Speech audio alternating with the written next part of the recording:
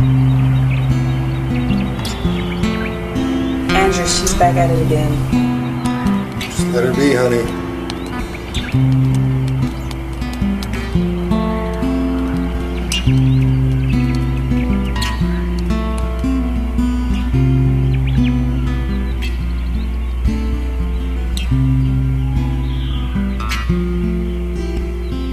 Mom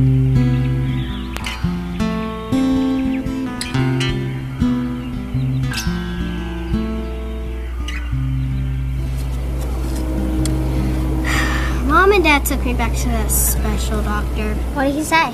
That you're not real? Ow! well, if you want me. I told him that, but he said I'm just using you as an excuse about all the bad things that have been happening lately.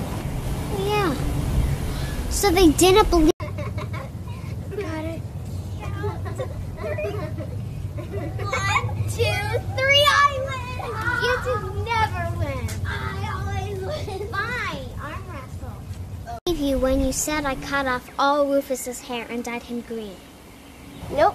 I told them that you got tired of him always barking at you and decided to teach him a lesson. And it worked too. He hasn't barked ever since. Well, Mom started crying because Rufus is a show dog and she thinks I'm a demon child. She said that? Well, not to me, to my dad last night. I overheard them talking. Oh, I'm sorry. It's okay, but I think it's best that we stop hanging out for now until I can convince my mom I'm not a demon. I understand.